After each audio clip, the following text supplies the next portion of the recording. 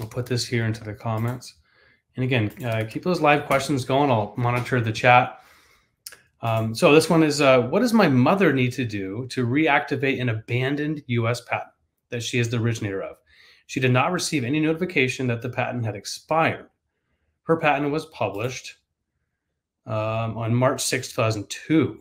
Ooh, patent lifespans are 20 years, so the status is abandoned as of 3 6 2023. Okay, well, so that was a long time ago.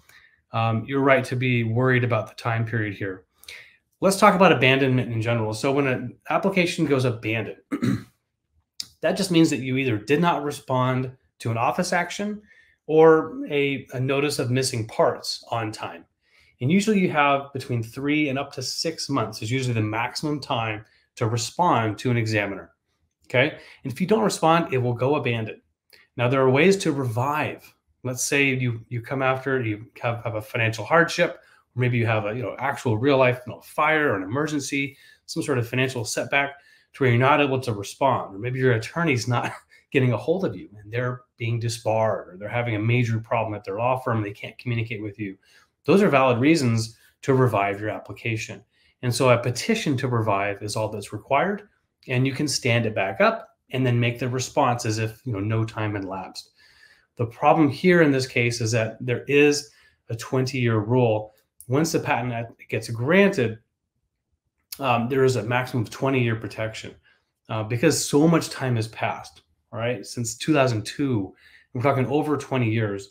You're going to have to have a lot of explanation, and likely it'll be insurmountable to prove that 20 years has gone by and you haven't been able to come up with the, the funds or find the time to respond. Maybe it's true. I mean, hey, I'll just come up with a story, not to say about anything bad about your mother, but let's say she was incarcerated and went to prison for 20 years and couldn't respond. That actually may be a valid reason to uh, revive that application from 2002.